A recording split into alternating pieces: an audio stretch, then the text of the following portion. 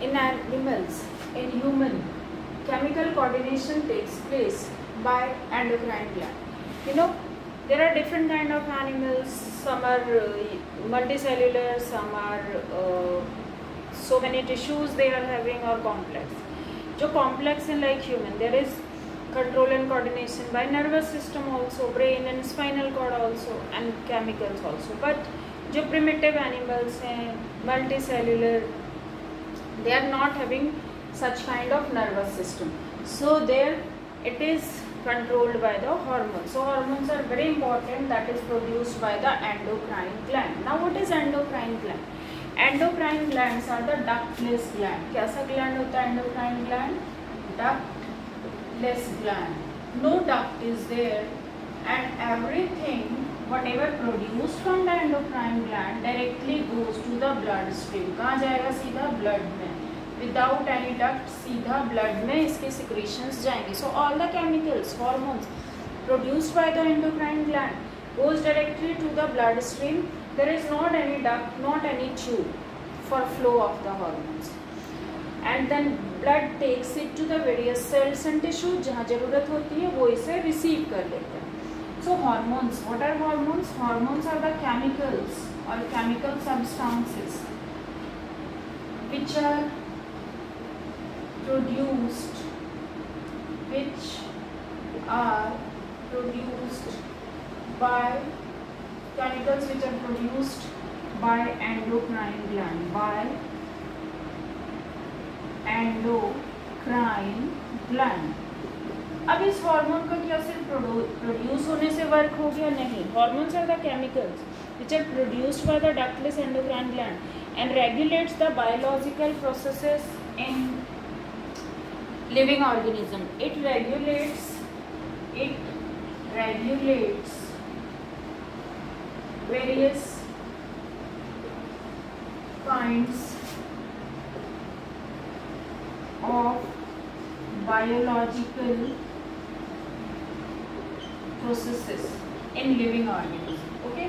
So hormones कहाँ से produce हुए? एंडोक्राइन ग्लैंड से कहाँ गया ये? Directly in the blood then target organ के पास ये जाएगा। इन हॉर्मोन्स का काम क्या है? It regulates the various kinds of biological processes in animals may control some kind of growth. Some hormones may control the some kind of um, you can say uh, किसी चीज़ के सिक्रीशन को बंद करना हो, किसी चीज़ के सिक्रीशन को प्रमोट करना हो all these are control by hormones so ये ग्रोथ प्रोमोटर भी हो सकता है ग्रोथ इनहिबिटर भी हो सकता है as it was in the plants same here in the animals hormones are very important अब हार्मोन्स में फर्दर आगे hormones released in the blood by the endocrine gland, that blood carries it to the target organs and in the target organs you know they receive only the required hormone अब blood में तो क्या है कि हर एक endocrine gland ने अपने हार्मोन को सिक्रीट कर दिया ब्लड को क्या पता वो तो लेके जा रहा है चले जा रहा है चले जा रहा है and blood goes to each and every cell, each and every organ. So there are some target organs, the organs which require a particular hormone. Those target organ receive only required hormone. जिसकी ज़रूरत है उसे receive कर लिया नहीं ज़रूरत है उसे ignore कर दिया Okay? देन आफ्टर दैट और द टारगेट ऑर्गन अब ये क्वेश्चन है कि टारगेट ऑर्गन को पता कैसे चला कि कौन सा हार्मोन हमें चाहिए?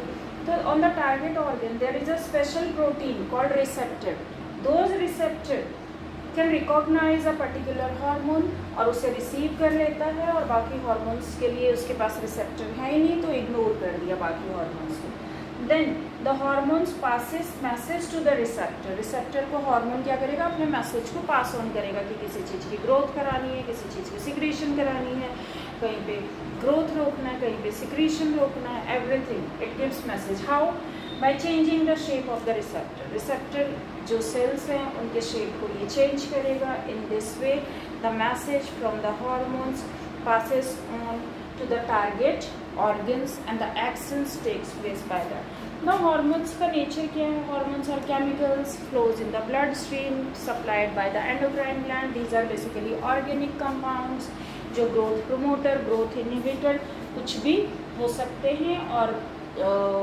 रिलीजिंग ग्लैंड मतलब एंडोक्राइन ग्लैंड से पहुंचेगा टारगेट ऑर्गेन तक। अब there is reason behind the release of hormone basically hormones अपने आप ऐसे ही नहीं रिलीज़ हो जाते कि ज़रूरत है कहीं पे। वो पता कैसे चलेगा ज़रूरत है?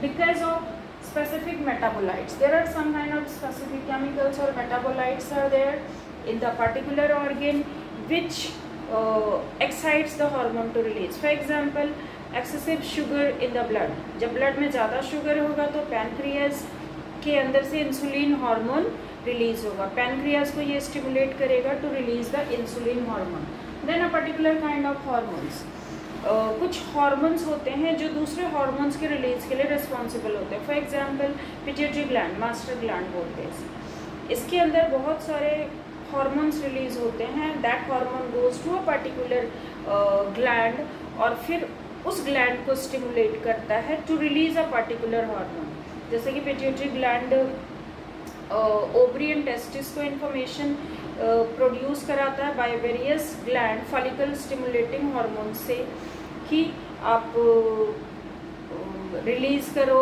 एस्ट्रोजन हार्मोन या प्रोजेस्टेरोन हार्मोन टेस्टोस्टेरोन हार्मोन इन सब के लिए।